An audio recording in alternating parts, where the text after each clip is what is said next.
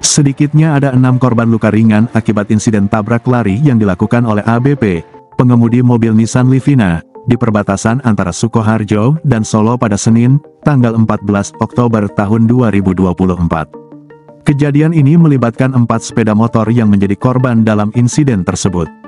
Pelaku akhirnya berhasil diamankan dan saat ini berada di Mapolresta Solo untuk dimintai keterangan oleh petugas kepolisian Satlantas Polresta Solo.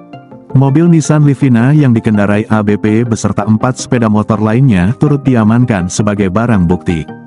Kasat Lantas Polresta Surakarta, Kompol Agung Yudiawan, menjelaskan bahwa insiden tabrak lari beruntun ini terjadi karena pelaku panik setelah warga berusaha menghentikan kendaraannya usai tabrakan pertama.